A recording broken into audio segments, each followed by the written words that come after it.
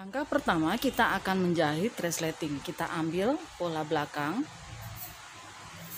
lalu kita ambil resleting dan kita jahit disesuaikan panjangnya. Di sini saya akan menggunakan panjang resleting 38. Jadi nanti ini sisanya kita gunting dan ini adalah pembatasnya. Cara menjahit resleting dapat dilihat di deskripsi di bawah ini.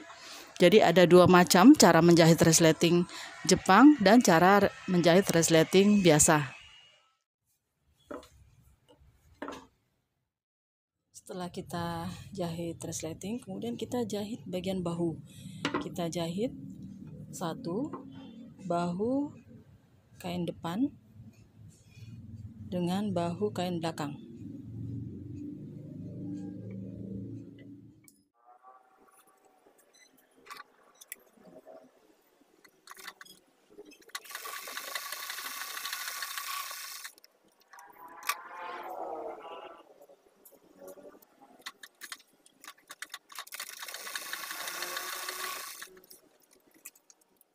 Jahit bahu kemudian kita jahit satu bagian sisi.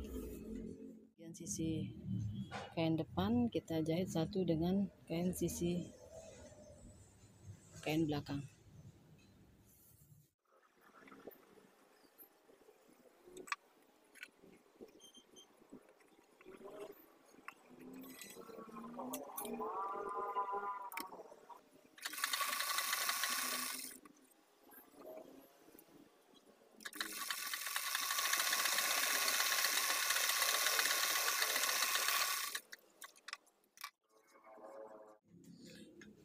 ini setelah kita jahit bagian sisinya kemudian kita jahit kain lengan.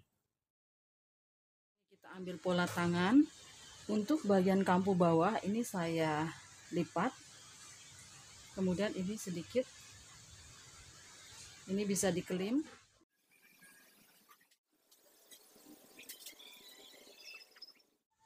ini kita jahit setelah bagian bawah kita jahit kemudian kita jahit bagian sisi.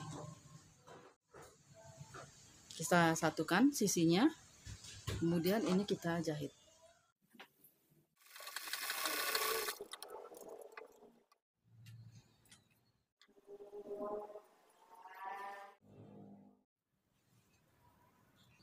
Setelah kita jahitkan lengan kemudian kita jahit kain lengan ke badan. Cara menjahit kain lengan ke baju bisa dilihat di deskripsi di bawah ini.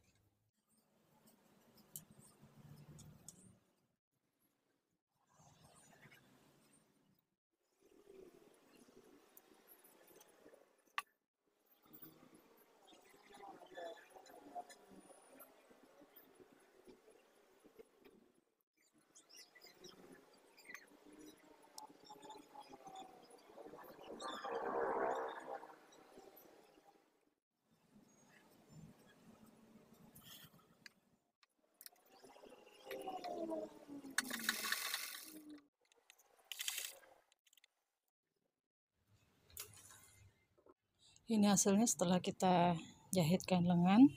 Selanjutnya kita akan menjahit kain lapis leher.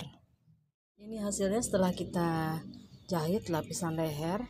Kemudian untuk pinggirannya ini ini bisa kita lipat dan kita jahit zoom. Oke selamat mencoba. Semoga ini bermanfaat untuk teman-teman dalam belajar menjahit di rumah